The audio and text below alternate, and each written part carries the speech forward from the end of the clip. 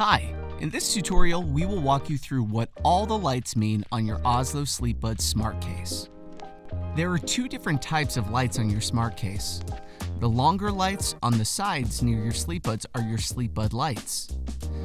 The five dots in the middle are your smart case lights and they indicate your smart case charge level.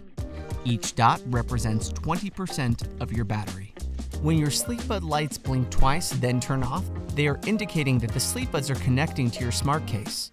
At this point, you can remove your SleepBuds from the smart case. If these lights don't turn on when your SleepBuds are correctly placed in your smart case, this either means that the battery of your SleepBuds is completely drained or that you may need to reboot your SleepBuds.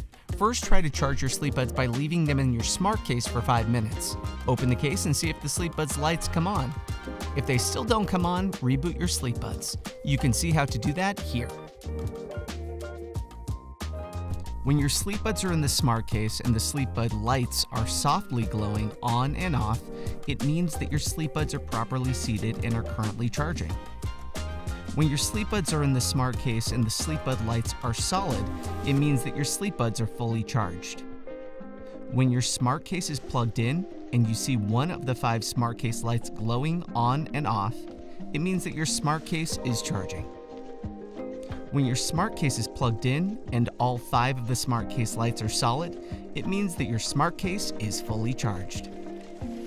When the five smart case lights are rocking back and forth, this means that your sleep buds are updating.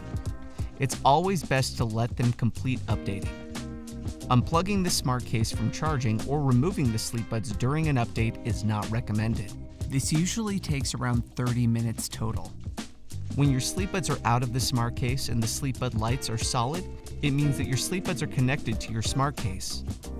When your sleep buds are out of the smart case and the third dot of the smart case lights is blinking, this means you are streaming content to your sleep buds. When you see the second and fourth dots of the smart case lights blinking, this means that your sleep buds are in pairing mode and are ready to connect. When you see the first, third, and fifth dots of your smart case lights blinking, this means that you've cleared all the previously connected devices on the sleep buds.